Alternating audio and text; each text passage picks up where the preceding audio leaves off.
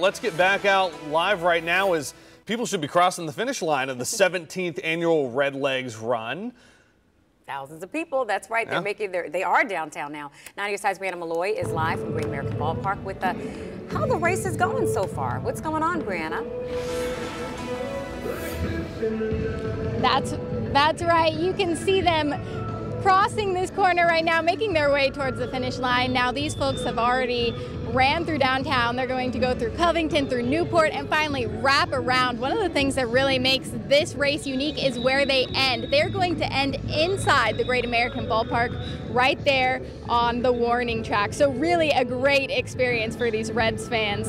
And another thing that makes this race unique is that it is for a good cause. These folks are helping to raise hundreds of thousands of dollars for the Reds Community Fund. The Reds Community Fund does a lot of work helping inner city kids get introduced to baseball. It helps them build leadership skills, confidence, and earn college scholarships. You can learn more about the Reds Community Fund on our website, wcpo.com. Live from the Great American Ballpark, Brianna Malloy, nine on your side.